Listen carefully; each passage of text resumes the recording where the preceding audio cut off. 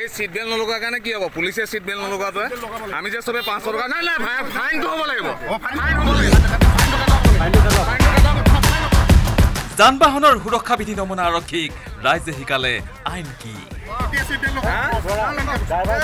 গাড়ী চালক আৰু আৰোহীয়ে যান বাহনৰ সুৰক্ষা বিধি মানি চলাটো বাধ্যতামূলক।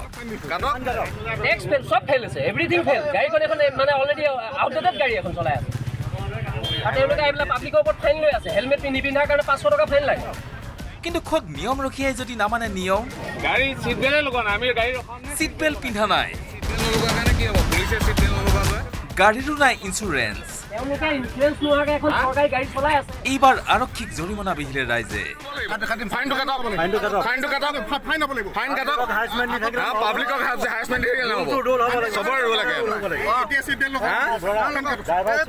লগোৱা নাই লগোৱা নাই. অকণো কিছুদিন পূৰ্বে বাইহাটা চাৰিআলিত দেখা গৈছিল ৰাইজে আৰক্ষীক যান বাহন আইন ভংগৰ জৰিমনা বিহিবলৈ বাধ্য কৰোৱা দৃশ্য।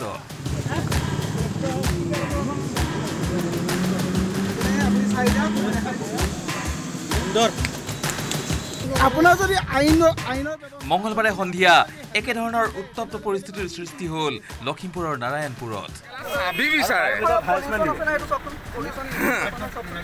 নাৰায়ণপুৰ আৰক্ষী থানাৰ পৰা পেট্ৰলিঙৰ বাবে যোৱা এখন বাহনক বহু সময় ধৰি আবদ্ধ কৰি ৰাখিলে প্ৰায় শতাধিক লোকে। বাহনখনত উঠি পেট্ৰলিঙলৈ ওলাই যোৱা আৰক্ষীয়ে চিট বেল্ট পৰিধান কৰি যোৱা নাছিল। আৰু সেইবাবেই ৰাইজে আবদ্ধ কৰি ৰাখিলে বাহনখন। সোধা পোছা কৰি ৰাইজে গম পালে নাৰায়ণপুৰ আৰক্ষীয়ে ব্যৱহাৰ কৰা বাহনখনৰ ইঞ্চুৰেঞ্চো নাই। ইঞ্চুৰেঞ্চ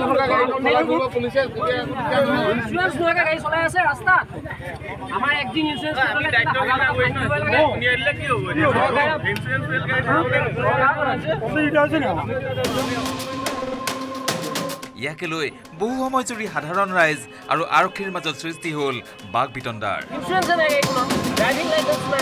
অৱশেষত আইন উলংঘাকাৰী আৰক্ষীয়ে ৰাইজৰ সন্মুখতেই ভৰিবলগীয়া হ'ল জৰিমনা। তাৰ পিছতহে ৰাইজে যাবলৈ দিলে বাহনখন। লখিমপুৰৰ পৰা Sanjeev লাহনৰ report news eighteen Assam north east. Everything এখন মানে অলৰেডি আউটডেটেড গাড়ী এখন চলাই আছে। আৰু তেওঁলোকে এইবিলাক পাব্লিকৰ ওপৰত ফাইন লৈ আছে। হেলমেট নিপিন্ধাৰ কাৰণে পাঁচশ টকা ফাইন লাগে।